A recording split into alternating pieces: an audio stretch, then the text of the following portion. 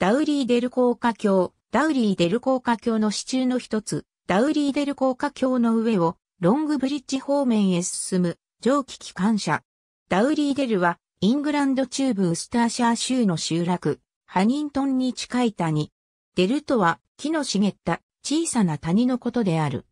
かつてここには中鉄製の鉄道高架橋があり、1964年に廃止されるまでヘール造園鉄道が通っていた。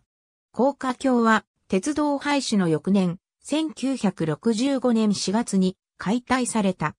ここにあった高架橋はトレッスルの上に格子状に組まれた鉄材でできた橋桁が置かれるという珍しい構造で、このような構造はイギリスではもう一例、ベナリー高架橋だけが知られている。ベナリー高架橋は幸い現存しているが、トレッスルの高さはダウリーデルの方が高かった。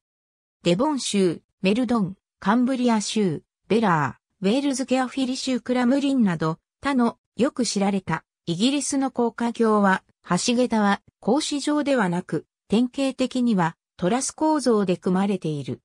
また、格子状の鉄材で組まれた橋桁は、さほど高さのない構造に用いられ、旧鉄道橋などに典型的なように鉄製のケーソンによって支えられている。